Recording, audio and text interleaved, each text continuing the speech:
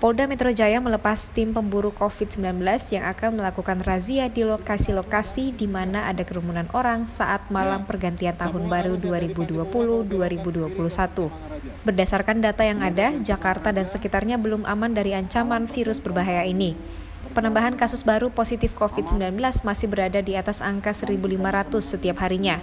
Seperti yang diketahui pada malam pergantian tahun selalu ada kegiatan masyarakat yang berupaya merayakan tahun baru yang berpotensi terjadinya keramaian dan kerumunan. Kapolda Metro Jaya Irjen Pol Fadil Imran mengatakan akan melakukan pengawasan hingga pagi. Jika terdapat kerumunan akan dibubarkan.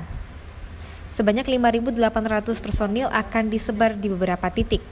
Operasi gabungan ini terdiri dari Polri, TNI, Satpol PP, Damkar, Disub, dan Dinas Kesehatan. Dalam menjalankan tugasnya, tim dilengkapi dengan mobil patroli lengkap dengan ambulans yang akan bergerak menuju lokasi yang ditentukan. Dari Jakarta, Aprianti dan Fitri melaporkan. Semua arus yang dari Patimura kamu belokkan ke kiri ke sisi Mangaraja.